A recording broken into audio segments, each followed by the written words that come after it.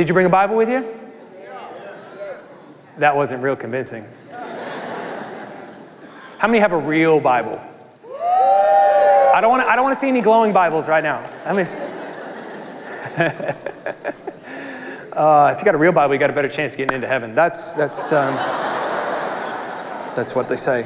So, whether your Bible is glowing or it is genuine leather, would you pull it out? Find me two places, please. Find John chapter 20 and John chapter 1.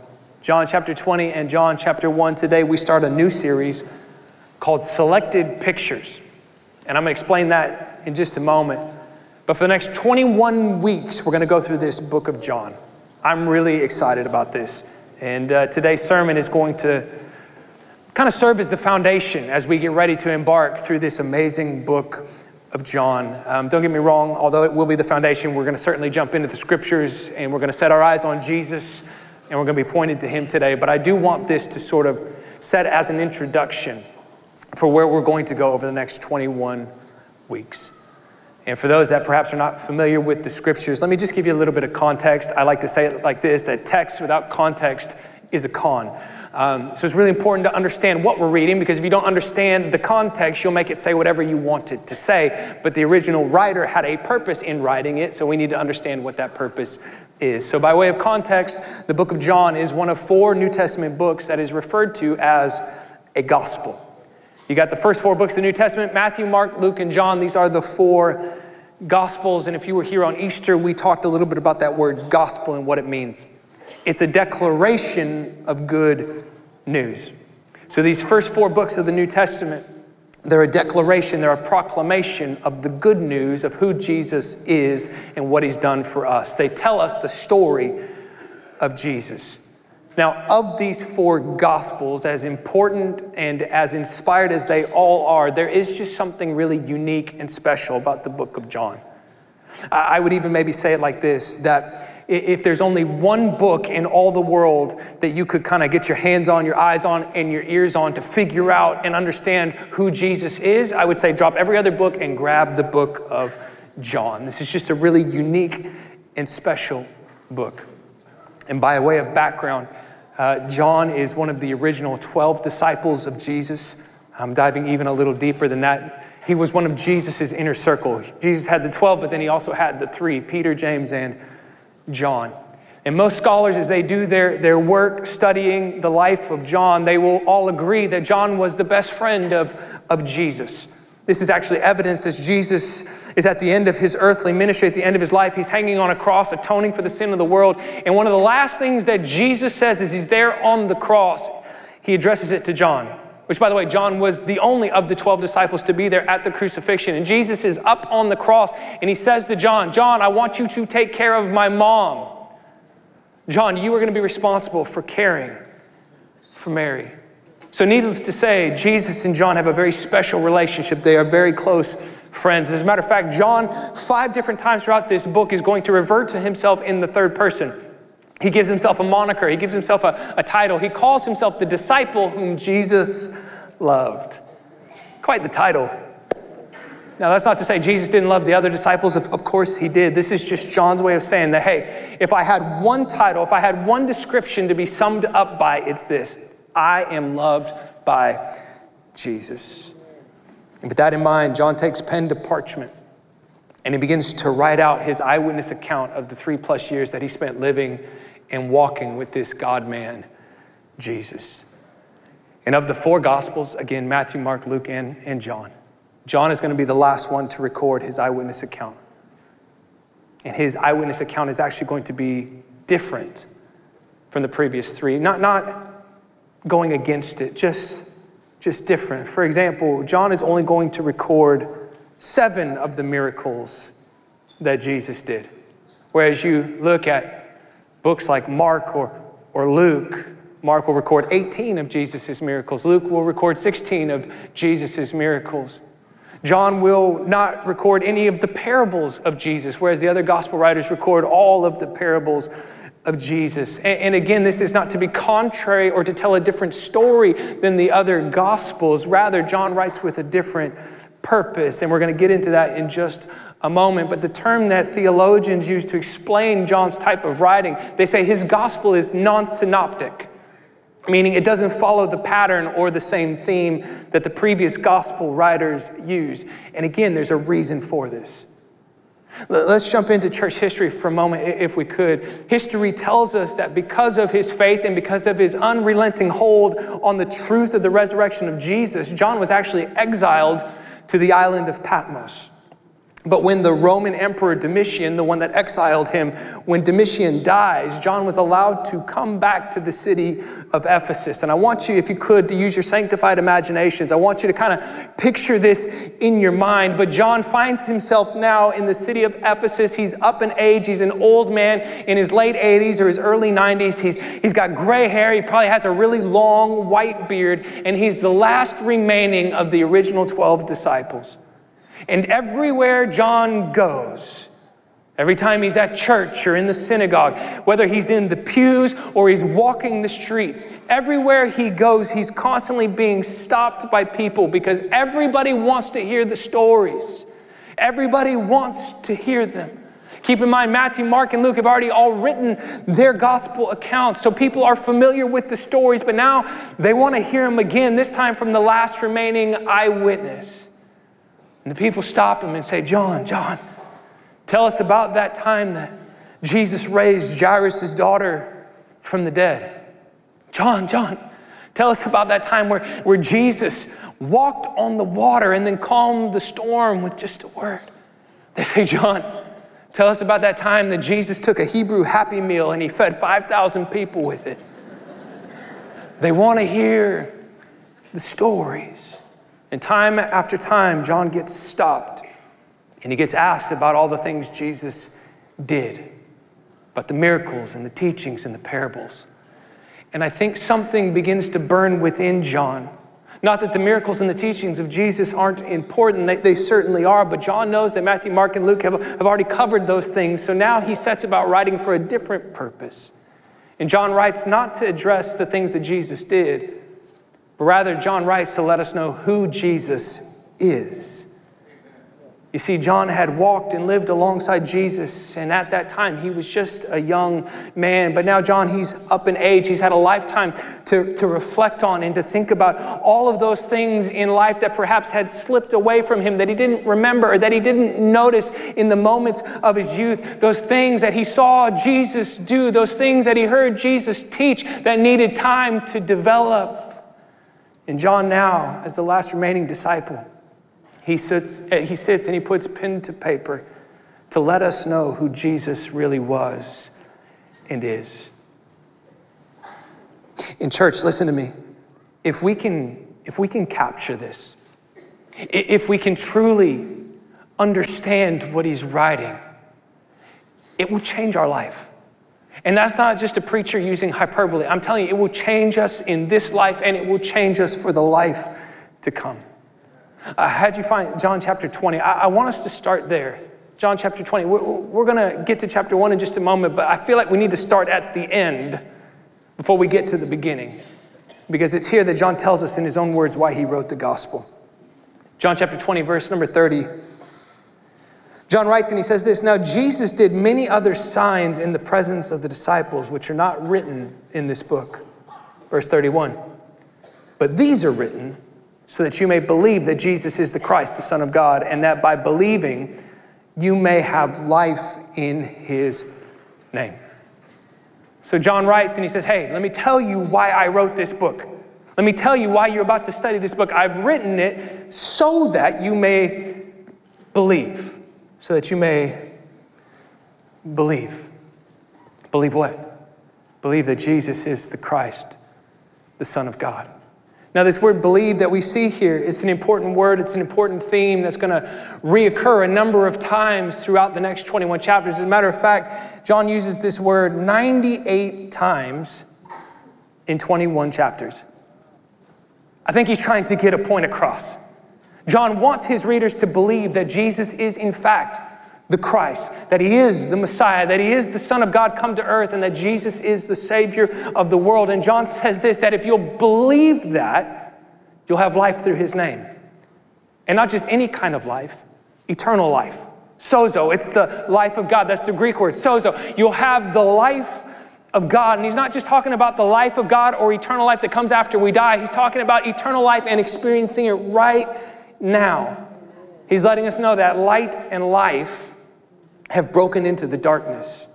And that you're going to either live in the light or you're going to live in the darkness. It's one or the other, but it's certainly not both. You'll either live in light or you'll live in darkness. And by the way, over the next 21 chapters, we'll see this theme occur over and over again light and dark. And John, again, as he's making these references, he's not talking so much about what Jesus did, his miracles, and his teachings. He's trying to teach us who Jesus is. And in order to do that, he gives us a few snapshots, a few selected pictures, if you will. Let, let me refer you back to verse number 30. John says this These were written. These are written that you may believe. Well, John, what, what, are, what are these? These are 21 selected pictures that I have recorded with the express purpose being that if you will believe them, you'll come to this unshakable conclusion that Jesus is, in fact, the Son of God, and that through believing in Him, you'll experience life in His name. So, this is why we've called this series Selected Pictures because over the next 21 weeks, we're going to make our way chapter by chapter looking at these different pictures, this amazing gospel of John. And we're going to let these pictures reveal to us the person of Jesus. We're going to let them reveal to us that Jesus, he was not just a good man, not just a good teacher, not just a good example for us to follow in this life, but rather that Jesus is, in fact, the Son of God and the Savior of the world. So this morning, we're going to look at our first selected picture. I had you find John chapter 1. Now let's go back to the beginning. John chapter 1. And what I want to do is read to us the first 18 verses of this first chapter. And I know some people go, oh my gosh, 18 verses, that's so much to cover. Listen, um, these 18 verses are meant to be read together. They're put together on purpose. When John initially set with, with pen and paper, he penned these together. As a matter of fact, the, the early church, they actually set music and melody to these first 18 verses so they could be easily memorized and sung and spoken by believers. So, what we're about to read is really important. It's the prologue, it's the introduction that sets up the rest of the book. And then, one final note of context before we read. John is going to start his gospel and the story of Jesus very differently than the other gospel writers. In Matthew and in Luke, we see the story of Jesus begin with him as a baby being born in Bethlehem's manger. Then we read the, the Gospel of Mark, which, by the way, is the Apostle Peter's eyewitness account. But Mark writes, and, he doesn't have time for, for baby Jesus. He starts with grown, you know, adult, you know, hair on his chest Jesus being baptized in the Jordan River. But then we get to John. And John takes us in a completely different direction. And unlike the other gospel accounts, John says if you truly want to understand the story of Jesus and who he is, then you've got to go all the way back to the beginning. And he uses these highly intentional words. He uses this highly structured poetic language that connects Jesus back to the, the Hebrew Bible, back to the Old Testament, and connects Jesus to God himself. Look at how John describes Jesus. He says it like this John chapter 1, in verse number one. He says, In the beginning was the Word, and the Word was with God, and the Word was God. He was in the beginning with God. All things were made through him, and without him was not anything made that was made. In him was life, and the life was the light of men. The light shines in the darkness, and the darkness has not overcome it. There was a man sent from God whose name was John. John came as a witness to bear witness about the light that all might believe through him. Now, just pause there for a second. When he mentions John here, he's not talking about himself. He's talking about John the Baptist, John the baptizer. Verse number eight, he says this John was not the light, but came to bear witness about the light. Verse nine, the true light, which gives light to everyone, was coming into the world. He was in the world, and the world was made through him, yet the world did not know him.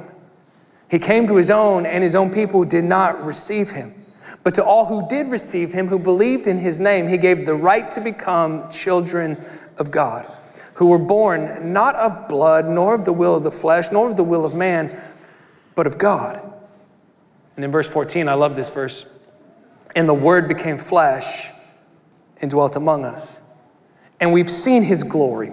Glory is of the only Son from the Father, full of grace and truth. Verse 15 John bore witness about him and cried out, This was he of whom I said, He who comes after me ranks before me because he was before me. For from his fullness we have all received grace upon grace. For the law was given through Moses, grace and truth came through Jesus Christ. No one has ever seen God, the only God who's at the Father's side, but he has made him known. This is the word of the Lord. And thanks be to God for it. Let, us pray and then uh, we'll dive into this. Holy Spirit, we come in awe of your word and we ask that you would illuminate that word to us now. Holy Spirit, give us fresh revelation. Help us to see Jesus anew. Help us to see him in his beauty and in his glory. Help us to see him as the Son of God and as the Savior of the world. We need your help. So, would you illuminate your word to us today? In Jesus' name, amen. Amen. So, when it comes to the subject of doctrine and or theology, these verses that we've just read might very well be the most important group of verses in the Bible.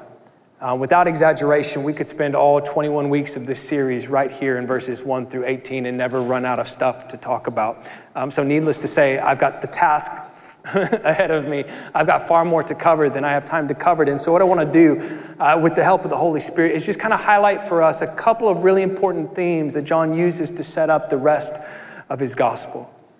I want to think about this passage and introduce this passage to you, to you like this. Maybe get us thinking in terms of a movie trailer. These first 18 verses, they, they kind of work like a, a movie trailer. They, they set up the rest of the gospel for us. Now, I don't know how many of you like going to the movies. How many of you like going to the movies? All right, it's one of my favorite, favorite pastimes. Mind you, there's not been a, a good movie in the movie theaters in a hot minute. Um, but I love, I love going to the movies. I love going with my wife and us having date night at the movies. However, uh, my wife views movie viewership very differently than I do. Now, if you're anything like me, you like to arrive to the theater about 15 minutes before the movie starts. Right? You can find your parking, you can get in, get your popcorn, get your drink, get your snack, whatever you need, use the restroom, and then go and find your seat. I, I love being there on time. It was drilled into me from the time I was a kid that if you're five minutes early, you're actually late. So I'm that guy. I like getting there early. But more than being there on time, I'm there because I don't want to miss the previews. Seriously, like if I miss the previews, I don't even want to see the movie. I like them just as much as the movie, if not more. However, my wife, bless her heart, if the movie starts at 7 o'clock, she's like, oh, we got all kind of time. And she doesn't want to show up until about 7.30. Often we take separate cars there because I just cannot stand for this. And I'm sitting in the seat, I'm watching the previews. Movie's about to start. We're two minutes into the movie. Here comes my wife walking down the, the, the side aisle, the big smile on her face, sits down, and then she has the gall, the audacity, and the nerve to look at me and be like, hey, what did I miss? Like, you missed everything, you know, like. But listen, I, I, never miss the previews because it's the previews that get you excited about coming to the movies again. Right? Like, like, like, just think about this logically. The reason you're actually sitting there in the theater at that moment is because you probably saw a movie trailer for the movie you're about to see. And it got you so excited, you decided you were going to pay the price of admission and the convenience fee. That's not very convenient at all. it's the movie trailer, it's the preview that gets you excited. And the reason I, bring that up is because these first 18 verses that we've just read, they act like a preview to the movie that John is about to show us. He shows us all the things in these 18 verses in this preview that we need to be looking out for as we embark throughout the rest of the gospel. In other words, John is giving us a first glance at all the important themes that he eventually wants to cover in detail. He's hinting at these things. He's dropping seeds that are eventually going to blossom as we study and as we read this book. And the first thing that John wants to draw our attention to is that blended together he's put all of these Old Testament images for our consumption. Now, this is really, really important. John's doing it on purpose. He's pulling from Old Testament themes and ideas, and he puts them all together in these first 18 verses. And the reason he does it from the outset is because he wants us to know that Jesus is the reality to which all of these images, which the Old Testament storyline point to. You, you, probably noticed it when we read, but John uses terms, he uses descriptions from the Old Testament like God's Word, God's life, God's light, God's Son, God's glory, God's law. And every one of these descriptive terms, they're pictures and they're symbols that his audience would have been familiar with. And these pictures and symbols given to us in the Old Testament actually point us to the character and the nature of who God is. And what we have to understand is that from the outset, John is letting us know hey, Jesus is actually not just the fulfillment of these things. But rather, all of these Old Testament images, whether it's God's word, God's life, God's law, uh, uh, uh, law, son, or glory, all these things, they don't just point to Jesus.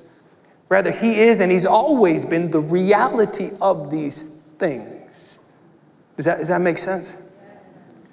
So, as we read, we got to keep in mind John is incredibly intentional with his word choice. He's highly intentional about the terms that he has chosen. Remember, he's setting the rest of the book up for us. We're going to see these themes over and over again throughout the next 21 weeks. So here's what I want to do I want to just highlight a couple of the ones that we read today, a couple of these themes. And I want to perhaps break them down, give us something to consider, so that hopefully by the time we, we leave here in 18 minutes and 45 seconds, yeah, right, um, that we'll walk away through the power of the Holy Spirit with a greater understanding of the person of Jesus. Let me take you back to the text. Let's go to the beginning, verse number one. John says, In the beginning was the Word. The Word was with God, the Word was God. He was in the beginning with God. Now, John, again, highly intentional, he uses this phrase, in the beginning. Have you ever heard that expression before? Right, he's taking us back to creation. He's taking us back to the first words of the Old Testament, Genesis chapter 1 and verse 1 and every one of his readers would have known exactly what he was trying to do. Genesis 1 1 in the beginning god created the heavens and the earth. So john is connecting us back to creation and then what he does he introduces us to this person called the word now, it's important to understand John is not saying that when the beginning or when creation happened, then the Word came into being. The Word then came along. No, he's actually letting us know that when the beginning happened, the Word was already there. And by the way, spoiler alert, um, the Word, this person that John's referring to, is Jesus. Cheat sheet for you. You could go ahead and write that in your Bible. The Word is Jesus. And in essence, what John is saying, he's going, hey guys, I'm taking you back to creation because there's a little bit more to the story here than perhaps you initially thought. He says, In the beginning was the, the Word. The Word, this is the Greek word logos. And it's a multifaceted word. It, it, it's a multifaceted concept and, and idea. So, today, for the sake of time, the best and the simplest definition I can give you is this it literally can be translated living expression. Jesus is the living expression of God. In the beginning was the Word, the living expression. Now, again, remember, John is pulling from an Old Testament theme here. And the first place that we see this living expression, this word, this logos of God in the Old Testament is in creation, right? In the beginning was the Word. Or in the beginning, uh, God created the heavens and the earth. What did God do? He began to speak. He said, Let there be light. And the light bulb turned on. The first place we see God's living expression, this word in the Old Testament, is in creation. That's why John is pulling us back there. But now, as we step into the New Testament, John is inviting us to understand and take part in a new reality, in a, in a new mystery. He's giving us a unique view of God. He's saying Jesus is the eternal and creative Word, the Logos made visible. That Jesus is the divine, living self expression of God. And not to jump too far ahead, but if you were to go down to verse 14, John makes it real simple. He says it like this that the Word, Jesus, was made flesh. In other words, all that God is, his living expression, got sewn up into human fabric, into human flesh in the person of Jesus. Uh, are you tracking with me? Does that make sense? Okay. Now, this descriptor, the, the word that John uses, We're going to see this term over and over again. It's the terminology that John uses in reference to Jesus. And for the next 18 verses, he lists out different attributes and expressions of the Word. And each of these expressions, each of these characteristics of the Word gives us an insight into the person of Jesus. And I want to just highlight a couple of these things for us. Here's the first thing that we learn about Jesus, the Word. Number one, we learn that He's eternal. He's eternal. Notice what John says. In the beginning was the Word. Now, that word beginning literally is in reference to eternity past. We can't think linearly when it comes to time in this regard. John is not talking about a date on the calendar. You see, we, we, we live and we operate within this construct called time, and it's very linear, but God is not contained within the construct of time. As a matter of fact, time is a construct God created. Time is a construct He created to show us how good He is. He exists outside of time. And so when John references in the beginning, he's referring to eternity past. Jesus, He's eternal. And I know that that's a hard concept for us to wrap our, our brains around, but he's saying, look, Jesus was never created, he's always been. That before there was a beginning, Jesus was already there. That he has no start date. If he has no start date, he's going to have no end date. That Jesus is forever and eternally existed. And, we hear that, and a lot of us go like, well, okay, but where did he come from then? Where did God come from? I, I like how Pastor S.M. Lockridge explains this subject. The reason God came from nowhere, Pastor Lockridge would say, God came from nowhere. And the reason God came from nowhere is because there wasn't anywhere from Him to come from. And coming from nowhere, God stood on nothing because there was nothing for Him to stand on. And standing on nothing, He reached out where there was nowhere to reach, and He caught something where there was nothing to catch. And then He took that something and he hung it on nothing and he told it to stay there. And nobody said a word about it because there wasn't anybody there to say anything. So God decided to say to himself, Mmm, that's good. That's a creative way of saying Jesus, He's eternal. He's always been. So, Jesus, the Word, He's eternal. He's always been, he always will be. But number two, John lets us know Jesus is not just eternal, but Jesus is actually also God. Notice again the verse In the beginning was the Word, and the Word was with God, and the Word was God. He was in the beginning with God. Like that middle sentence, John can't be any clearer in making his point. He literally says, The Word was God. The Word was God. Jesus is God. But then he takes this a layer deeper. He says, Not only is Jesus God, but he's also distinct from God. Right? He uses this word with. The word was with God. He was in the beginning with God. This is John's way of introducing us and giving us insight into the triune nature of our God. Please understand, he's not saying we serve multiple gods, but rather our God is one God, eternally existent in three distinct persons God the Father, God the Son, and God the Holy Spirit. And I know that this topic of the Trinity can be a little bit confusing. It's hard to comprehend. Um, and you hear different people use different examples and different illustrations to, to describe the Trinity. One of the examples I hear most often, people say, well, the Trinity, it kind of is like water. And, and I get it. The illustration, though, is not complete. They, they say it like this that, that, that water can exist in three separate states, right? Liquid, gas, and solid. But all three of them are water. It's just three unique, separate expressions. Now, again, I, I understand what they're saying. I, I get that picture, and to some degree, it's, it's helpful. But here's where that illustration falls short.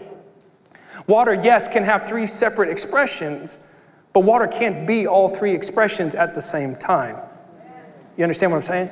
So, so just like water has these three separate expressions, yes, we do serve a triune God, three unique separate expressions, yet they all have and will forever exist at the same time. Let me take you a little deeper.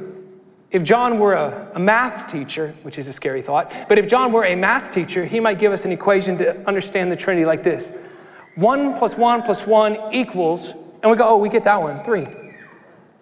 That's easy to wrap our, our mind around, right? Right? Three unique, separate gods. One plus one plus one equals three. But John goes, no, no, no, not quite. Let me invite you into a new mystery. Let me invite you into a new reality. It's not one plus one equals three, but rather one plus one equals one, right? One Father, one Son, one Holy Spirit equals one God. This is the truth that He's trying to communicate to us. A triune God, one God eternally existed in three separate persons Father, Son, Holy Spirit. And by the way, we're going to see the Holy Spirit show up in, in, in a few verses later on in this chapter. But in verses 1 and 2, John is specifically referencing God the Father and God the Son. Jesus, the Word, he's telling us, is God the Son. And in the original language, when John writes and says the Word was with God, that, that word with can actually be translated face to face.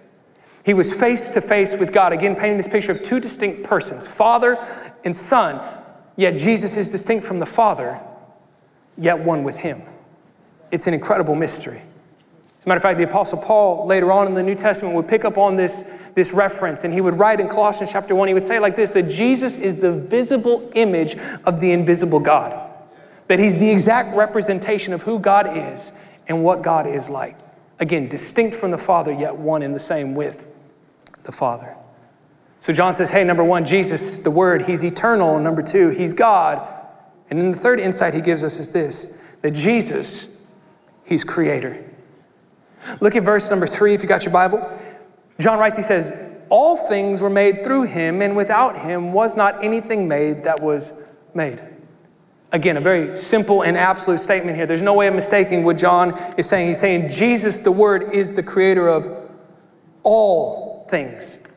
All things were made through him by his power and for his glory, and without him was not anything made that was made. So, Jesus, he's creator. But not only that, look in verse number four and five. John says, I want to teach you a little bit more about the word. He says, In him was life, and the life was the light of men.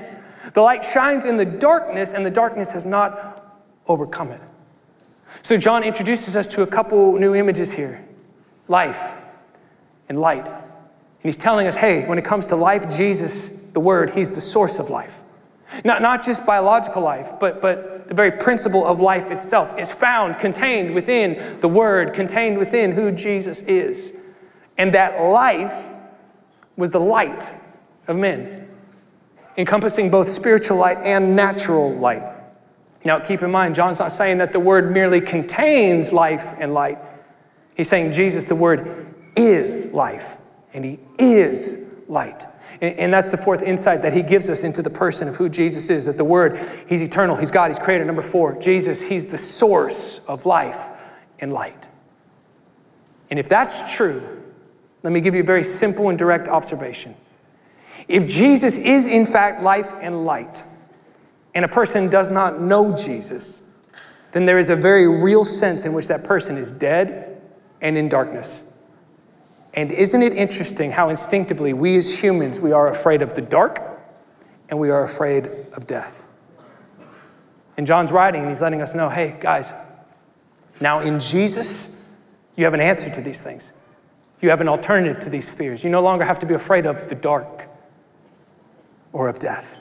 No, notice what he says, verse number five. He says, The light, again, referencing Jesus, the light shines in the darkness, and the darkness has not overcome it. I love that. I take such hope and encouragement from that statement for a couple of reasons. Number one, I take encouragement because it tells us that Jesus has all power and that Jesus is undefeated. Right? It doesn't matter how dark things get, it doesn't matter how dangerous or uncertain things are in this world. Jesus, the light, he shines in the darkness and the darkness cannot overcome him. I find great encouragement in that. I don't know about you, things are getting pretty dark around here these days especially in an election cycle. But no matter how dark things get, King Jesus is forever victorious. King Jesus is forever on the throne. The darkness has never and will never overcome him. Here's the second encouragement I get from this statement. Number two, I get encouragement because Jesus isn't afraid to show up in the darkest parts of my life. Right? Look what John says. He says, The light, it shines where? In the darkness. In the darkness. Listen, some of you have kids. Some of you have loved ones that um, are far from God right now. And if you were to describe their life, you might say they're living in the midst of darkness. Their lives are filled with confusion. Listen, I'm telling you, Jesus, the light, he specializes in showing up and shining and revealing himself in the darkest places of our lives.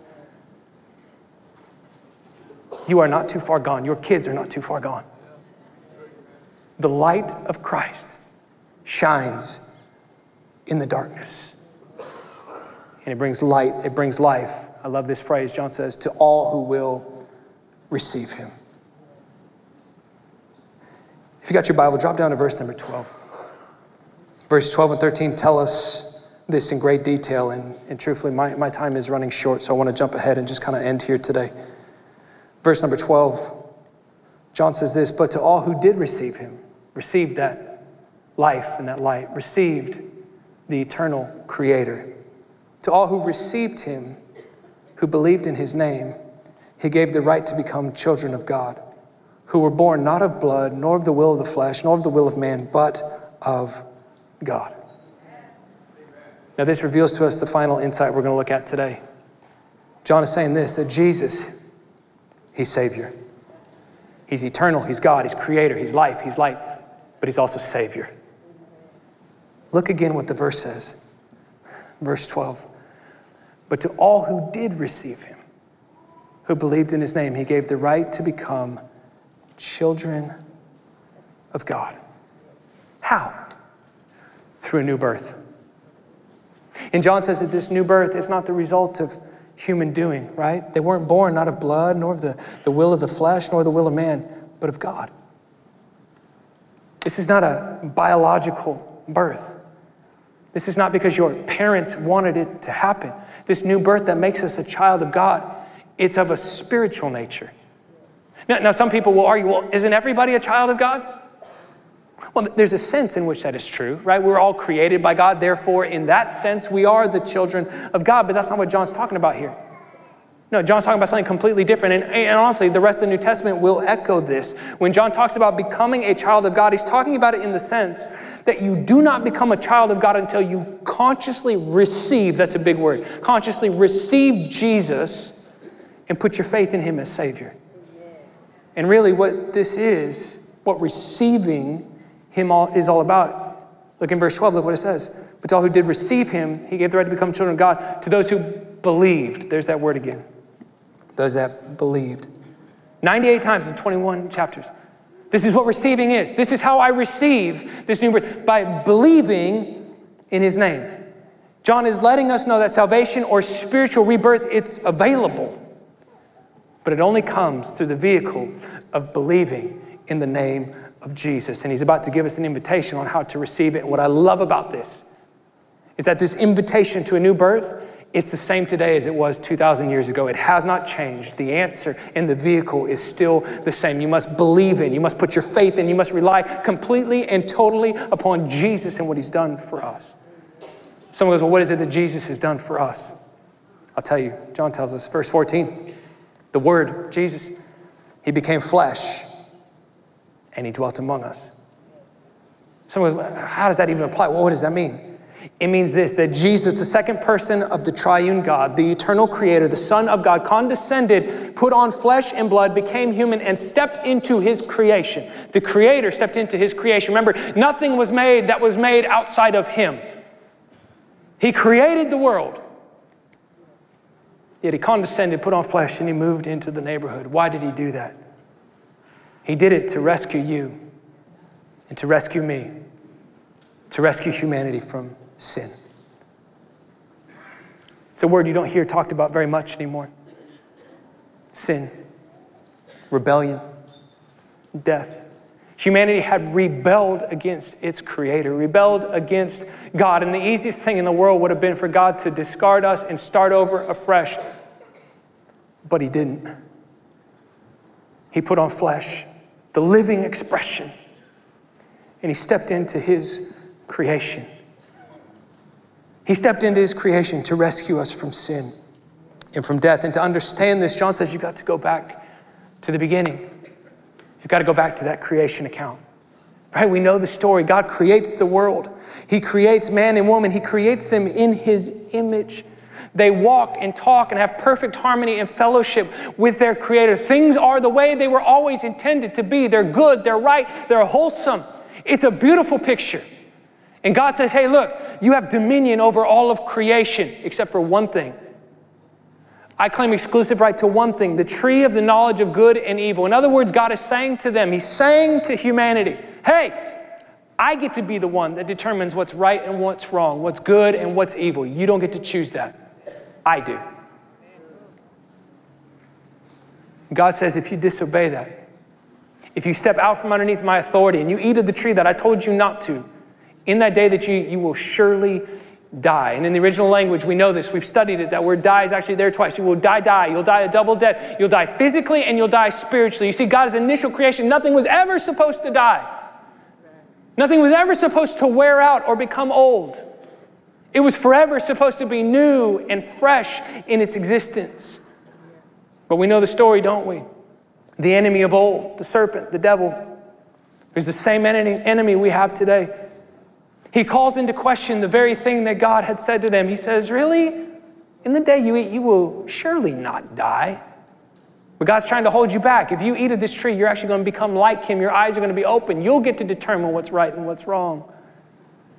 And Adam and Eve, the fountainhead of the human race, were deceived and they ate of the tree. They stepped out from underneath God's authority. And the Bible says, when they did that, sin entered the world, and on the tail of that came death. What does sin do? Yeah, it brings death, but it also brings separation. You can read the account. Adam and Eve, they, they eat of the fruit of the tree. Their eyes are open, the Bible says, and immediately out of fear, because they realized they had done something wrong, they went and they hid themselves. They had walked and talked in perfect harmony with God the Father, with the Creator, but now they're hiding. Why? Because of sin. Sin separates and sin brings death. In the New Testament, we learn in, in the book of Romans that the wages of sin, what we earn because of sin, it's, it's death. And as Adam and Eve are the fountainhead of the human race, now we are all born into this state, uh, of spiritual separation from God. The Apostle Paul will say it like this You were dead in your sins and in your trespasses, cut off from the life of God. And because God is holy, because he's just and because he's righteous. He cannot overlook sin. He must, because of his eternal righteousness, balance the scales.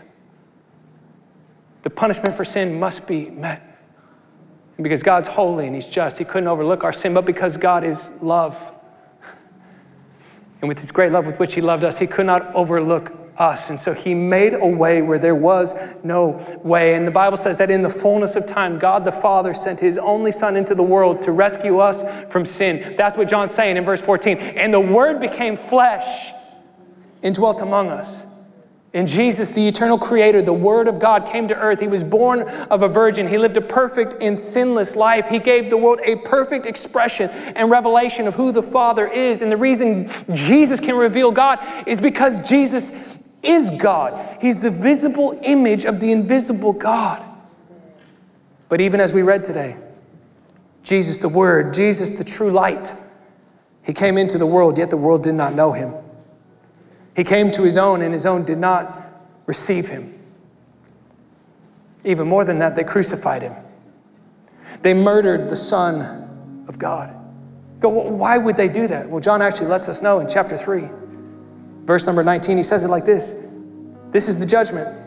The light, Jesus, has come into the world, and people loved the darkness rather than the light because their works were evil.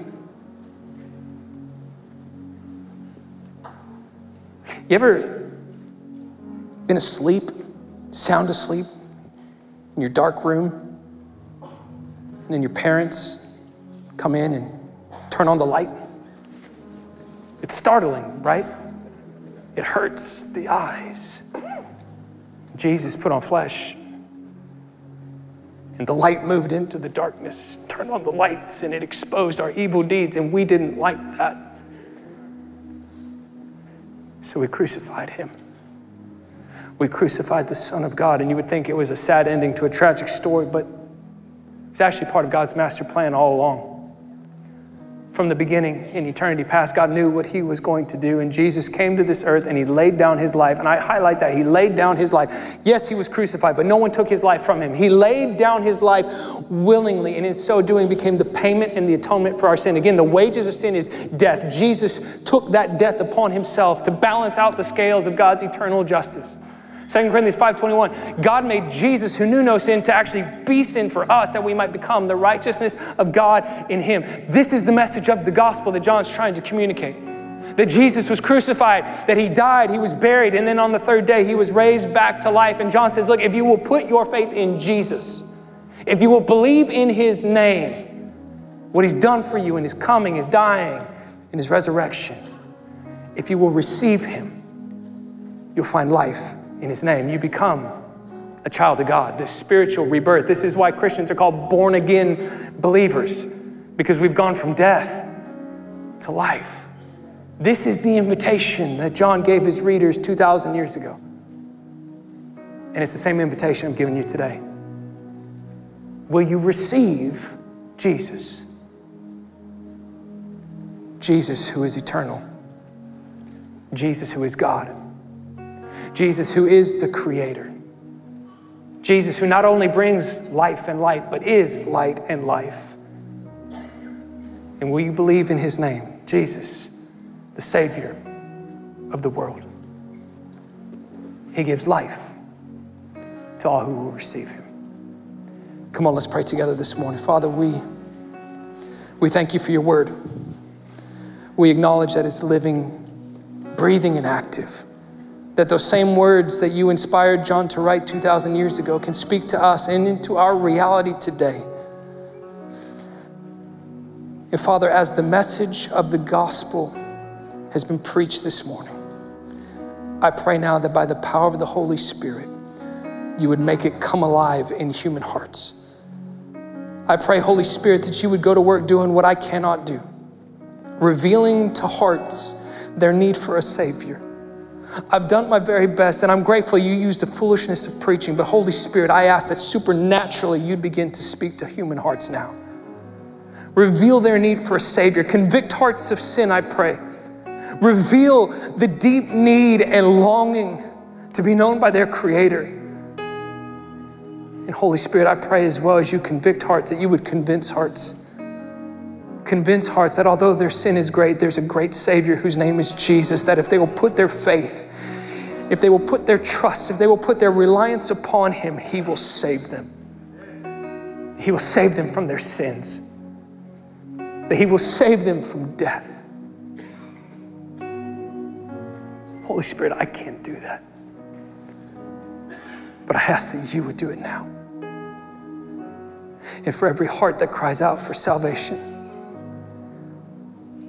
Holy Spirit, I thank you for applying salvation to their life, pouring out God's love into their heart, changing them from the inside out.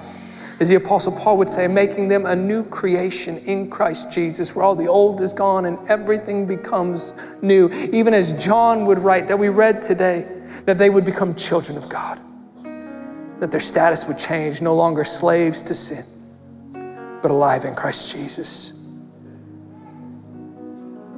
We thank you for your supernatural work, Holy Spirit. Thank you for moving in our midst. Oh, we love you in this place. We love you in this place.